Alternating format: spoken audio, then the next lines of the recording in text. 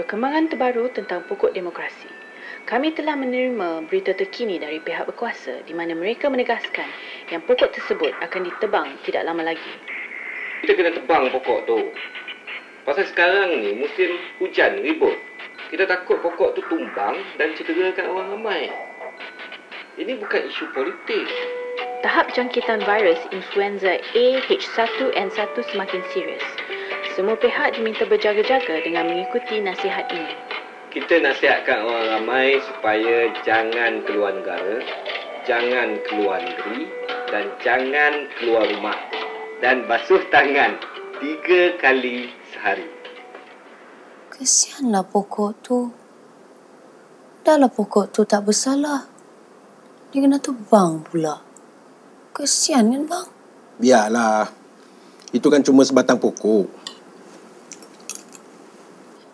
Atau sepucuk pokok ke sepohon pokok?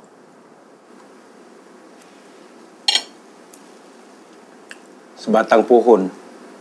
Sebatang pokok. Penjodoh bilangannya sebatang. Sama saja kan?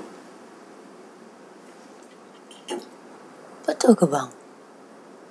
Iyalah. Sekarang penyakit tu dah merebak dengan cepat lah bang.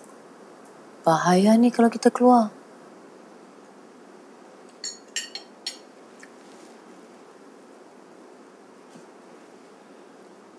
Awak tahu tak?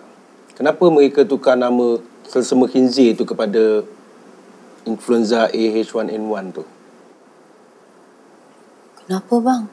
Sebab kalau mereka tak tukar nama tu kepada nama yang lebih saintifik, orang akan takut nak makan babi. Maka terjejaslah industri babi dia orang. Oh ya ke? Tapi awak tak perlu risau.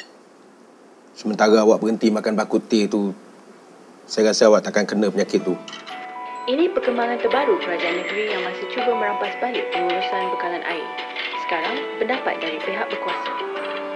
Kalau kerajaan negeri tu nak ambil balik hak air tu, boleh. Tak ada masalah. Tapi, diorang kenalah bayar macam Singapura bayar kat kita. Satu lagi berita nasional yang menarik perhatian media antarabangsa.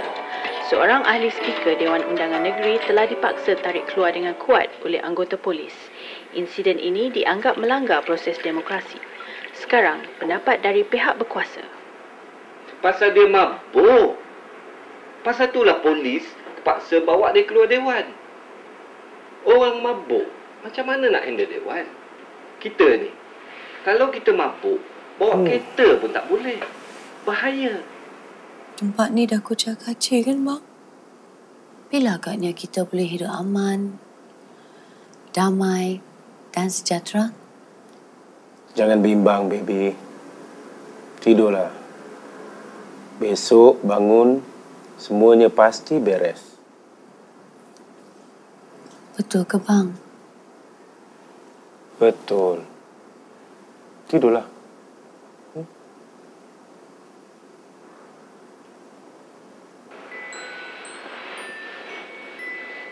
Amaran dari polis untuk kaum wanita.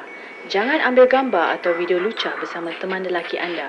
Ini adalah kerana ada kes baru di mana seorang wanita berumur 65 tahun menjadi mangsa gambar lucah dan kini dia menjadi sensasi hebat di internet. Dan sekarang sedikit berita baik. Barack Obama dalam ucapannya di negara-negara Arab telah menyebut nama negara kita sebagai sebuah negara progresif. Ini adalah satu kejayaan yang menakjubkan di mana negara kita telah disebut oleh seorang presiden terkemuka.